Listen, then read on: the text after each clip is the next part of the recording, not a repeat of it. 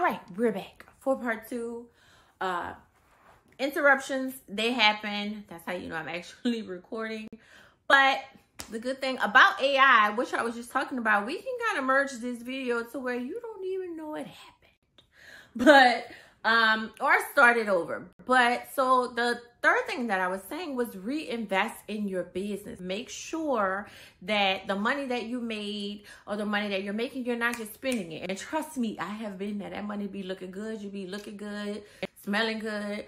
But what'll happen is if it ever slows down now you don't have a savings account. If you ever need to pay an invoice in advance like if you're doing something for your business you don't have the money.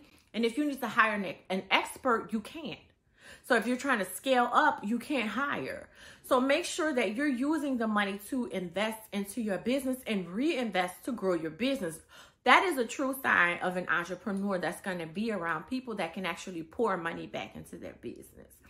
So those are the three things that I would recommend. I would recommend make sure that your products and services still serve the market. The second thing, make sure that you're technologically advancing. You want to make sure that you are using what's out there to streamline and support your business.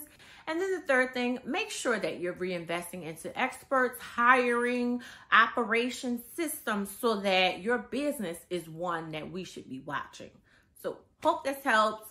Make sure that you're checking out the website for resources that can support you in this as well. We have really great things on operations and systems. DrSheikasquare.com. I'll talk to you later.